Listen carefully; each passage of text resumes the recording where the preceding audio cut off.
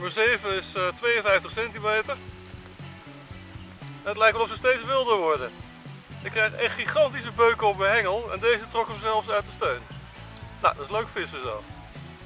Als ik goed geteld heb, is dit nummer 8. En nummer 8 is precies 60 centimeter. Prachtige, gezonde, sterke vis. Mooi gebouwd en mooi van kleur. Nou, 8 komt 9 en die is uh, 56 centimeter. Ook weer een prachtige, sterke vis.